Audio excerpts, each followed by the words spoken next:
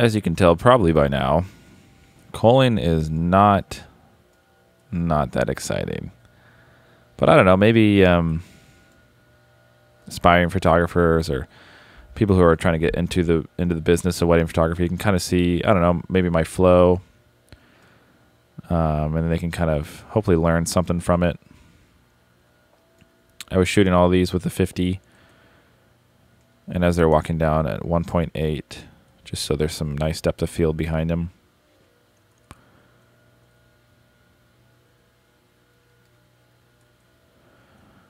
I'm a big advocate of getting people's reactions. I love kind of the documentary style of photography that you can you can do in in um, when shooting weddings. And uh, I mean, there's so much. that's cute. There's so much to document during a day. Um, that it's uh, I mean there's it's just during a wedding it's insane. It's a lot of emotions and a lot of stuff going on.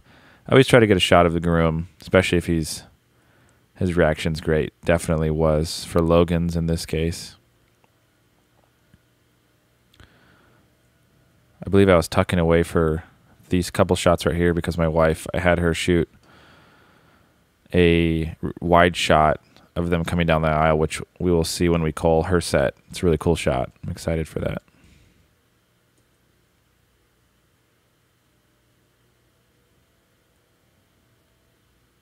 I don't do manual focus on these shots, FYI.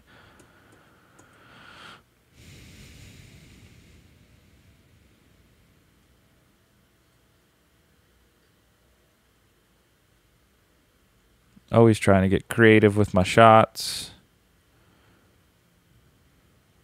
Framing and all that stuff.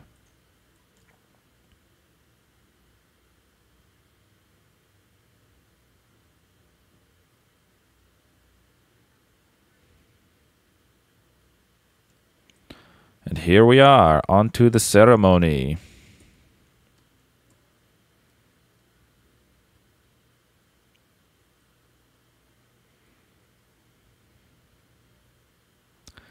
Pastor told them to look back and basically to break the ice. Kind of, uh, I think everybody like cheered for them or something. It was cool, cool moment. This is a cool venue. It's really beautiful, especially this time of the day. The light is behind us, so uh, it's really even light on everybody. The sun was just going down, so there's nothing harsh. Um, a lot of green. So in post production, it'll look. I think it'll look just beautiful. Look like a nice summery California wedding, but it was in Oregon, there's a shot of the whole venue.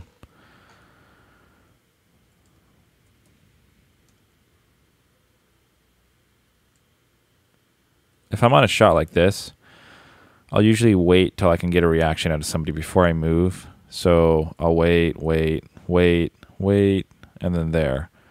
I got something here. Something from here I can take right there. There. People smiling is, of course, always better than when they're not smiling. So I'll always try to grab something. I, am really my approach for for shooting ceremonies is um, I try to not be obtrusive. I try to not be annoying. I try to not be behind them like this very much. Um, I never go behind the altar. I never walk past that way. Uh, my camera is always on silent mode, so I'm trying trying to again be a fly on the wall, uh, even during ceremony, just because the day is not about me, um, and I don't want people to get distracted because of whatever the heck I'm doing. So always keep that in mind. Don't try not to be distracting. Same with videographers; they're usually pretty distracting.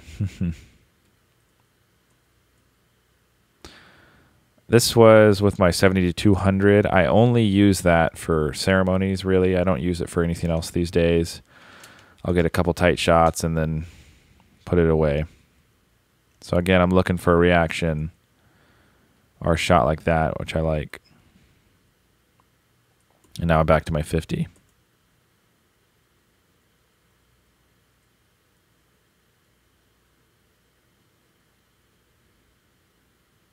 Pastor was great, super funny.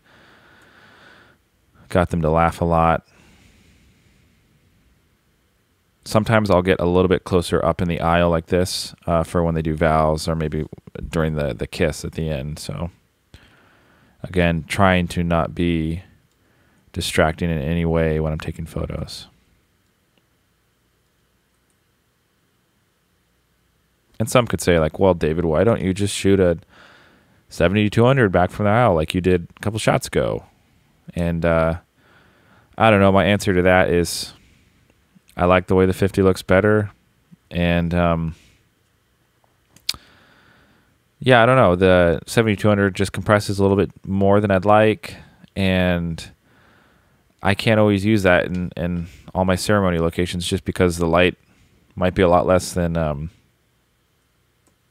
than what it is here. So this was getting a little bit more on the dark side, to be honest. This was seven o'clock, and in Oregon right now, our our sunsets were like seven fifteen, so it was getting dark.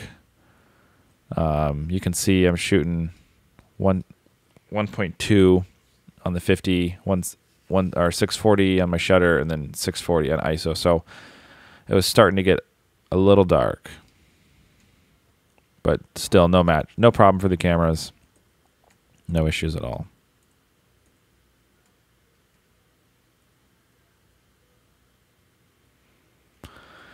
And this is coming up to the kiss, so I get a little closer. I check my focus. I double check. I manual focus. Oh, never mind. This is uh, communion first.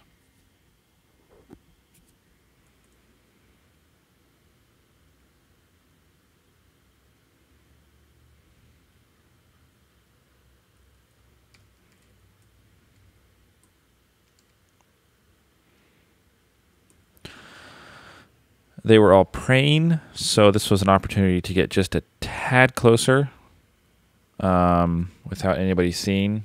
And then I pulled back. And here's the kiss.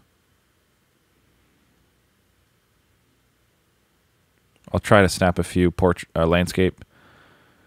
And if they still are kissing, I'll go to portrait. But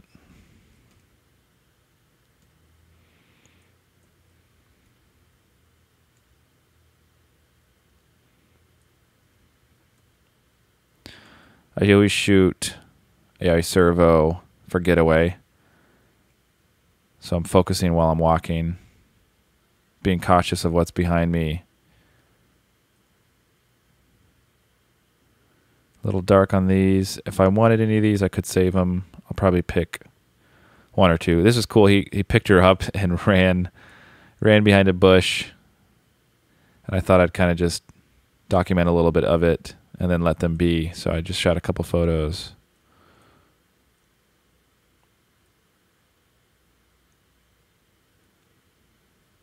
And then I let them be.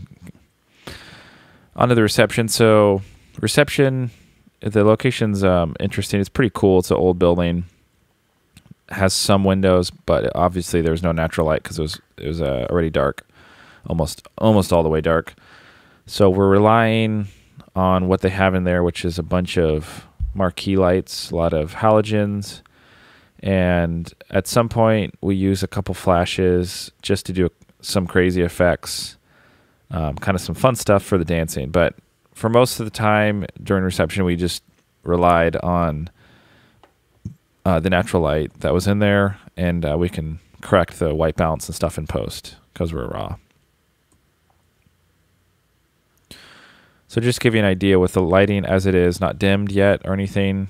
We were shooting 1.4 ISO 1600 and then one one hundredths of a second. That's kind of my safe spot. That is still a little bit low for my liking for dancing stuff. That would be a little bit too slow. You'd get motion, um, but it's easy to handheld that at at 50 millimeters. So.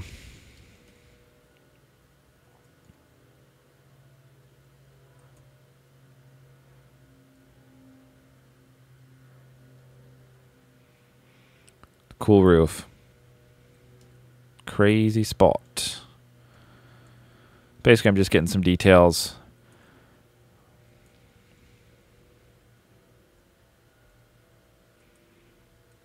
They're about to get announced in right here.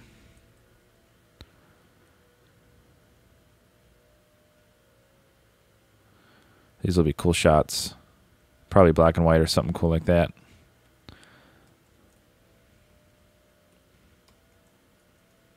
And then they went right into their first dance. So again, my settings are still the same, 1600, 1.4, 1 one hundredths of a second. I, I was on the 35 now for this, and my wife had my 50.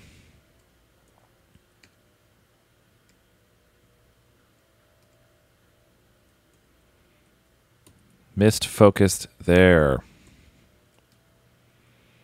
35 looks great. Um, it's it's seriously such a cool lens. If you've never shot a 35 1.4, man, you got to do it. There's something about it that um, it doesn't always look good in camera. Sometimes it, it deceives you because you think you have zero depth of field when you're a little bit wider out like this, even at 1.4. But once you get home and you look at the file, you realize like, wow, it's it's a great shot because it's enough separation from the background of people that it focuses you in on them. So it's a great lens. I need to use it more. Shooting a little bit wider.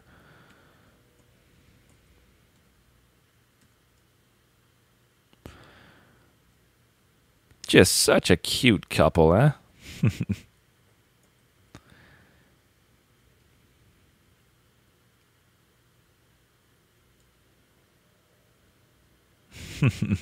he was a goofball. He's so fun.